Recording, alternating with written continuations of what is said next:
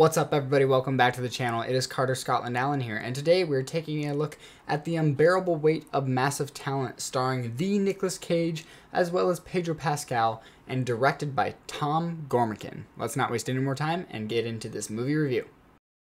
So once again, this film is starring Nicolas Cage, playing Nicolas Cage, playing himself. He's playing in an alternate version of himself. It's really not an alternate version, it's just a heightened version of himself.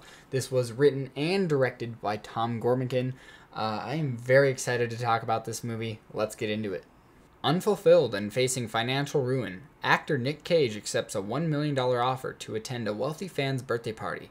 Things take a wildly unexpected turn when a CIA operative recruits Cage for an unusual mission.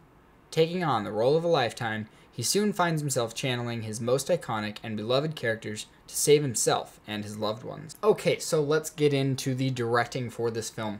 Uh, Tom Gormican, I have literally zero idea what he has done before this film, but this film, as far as this film goes, it's fantastic. I, I didn't I have not found a comedy in years that has really just stuck with me. The comedy in general, uh, there's been plenty of TV shows that I've found hilarious and that that are great nowadays. You know, Welcome to Flatch is a new series that I genuinely love. Um, but as for comedy movies, comedy films, there's so much. As for mainstream comedy films, there's so much that just feels repeated and just feels gross just to be gross this film doesn't do that. Uh, the director of this, Tom Gormican, knows exactly what Nicolas Cage fans want while also making fun of him, making fun of yourself, making fun of making fun of Nicolas Cage fans for for liking some of the things that he does do. Like some of the weird stuff that he does. Why do we like like it's just there's so much I could talk about with this film, but the directing as a whole is fantastic. The visuals were great, the acting was great, the writing was hilarious, the delivery was fucking great. Uh, I would love to see this writer and director do another comedy because again, this is a idea that is so unique and so bizarre that I, I'm I'm honestly gonna look out for any of this director and writer's future work. Okay, and as for the cast and the characters, we have to talk about the man himself, Nicolas Cage. And yes, I do have a sticker of Nicolas Cage as a pickle, otherwise known as Pickless Cage, on my phone. Um, so there's that. But I, I, I, dude, this movie's fantastic. The fuck, it's it's hilarious. And like, I don't want to say anything about it because if you like Nicolas Cage, you need you need to just watch it and this is a movie that I would say go support it in theaters. Uh, if you're a Marvel fan, even and you want to go see Doctor Strange, don't go see this. Like, I I love this movie. This is this is top twenty comedies of all time for me. Like, I I cried in theaters twice. My my dad was like next to me, just dying laughing. The whole theater, even though it was basically an empty theater, but everybody behind us was dying laughing. It was one of the best theater experiences of my life, and we had basically an empty theater. The bond between Nicolas Cage and Pedro Pascal was fantastic. Nicolas Cage did a great job at going back into his previous roles as well as making fun of himself while still staying true to what you would think Nicolas Cage is, is like and he he seems like such a weird goofball fun dude and this movie does a great job at capturing that.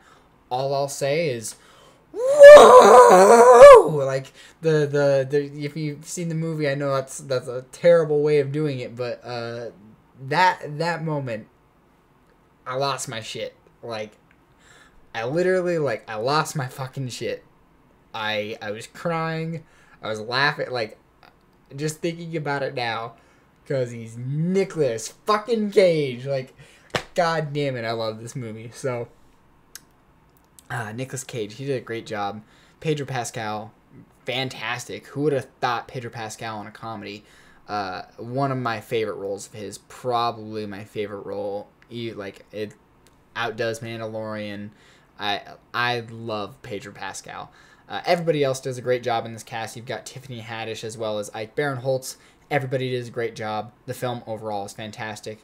Now let's move on to the story. So again, this story, this is something that I had really very little knowledge of going into it. I had seen like one trailer, and after that first trailer, I didn't really focus on it. I knew I was going to see it. I knew I had an interest in it, but I just I didn't. You know, it was a film that I didn't didn't think I needed to to watch a bunch of trailers. Be like, oh, is this gonna be in it? Is this gonna be in it? And I'm glad I didn't watch a bunch of trailers because I I do think. Uh, going back and watching the trailers, they did show quite a bit, not as much as you would think, but I was so very genuinely pleasantly surprised with this film. I had such a fun time. Every little twist and turn, uh, the little shrine, I'll say, there's a shrine uh, that, like, there's just things like that. You don't expect it, but when it happens, you're like, oh my god, I should have expected it. It's hilarious. It makes sense. It's funny. It's dumb. Just go see this movie, dude. Now, as for the cinematography, I don't necessarily have too much to say. I'll say the visuals looked like they looked great. They looked fine. Uh, they they really weren't noticeable, and that that's always a, a weird thing to say because that means they did a good job at making you uh, feel engaged, you know, in this world. But it was, you know, it's it's not supposed to look like Avatar or Star Wars. It's not supposed to be anything crazy visually. So so what are you supposed to notice? Um, and it's not some super artsy fartsy film where you're supposed to notice the weird framing or blocking of the characters.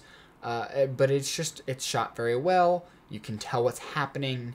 Everything's lit very well. The blocking's fine. Like it's very well uh, put together on a technical standpoint.